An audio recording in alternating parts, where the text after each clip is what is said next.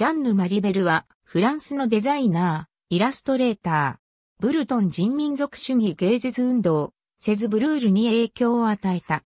ルデアックの生まれ。1922年、ブルトン人民族主義者、ジャンヌ・コロラー・ダニオの著書、ブルターニュの歴史のための挿絵を基版画で描く。その絵は、ポール・ゴーギャンやエミール・ベルナールら初期総合主義の影響が見受けられる。画家で彫刻家のルネイブ・クレストンはこの絵を美術界にブルトン様式を復活させる契機となるものと高く評価。クレストンと共に多くの作品を作り、セズブルール運動を起こした。セズブルールという名前は、マリベルが収集、出版したブルターニュの民は、シーズブラーに由来する。マリベルはフレスコ画も描き、また家具、刺繍、陶磁器のデザインも手掛けた。1925年には、パリ万国博覧会にクレストンと共同制作した家具を出展した。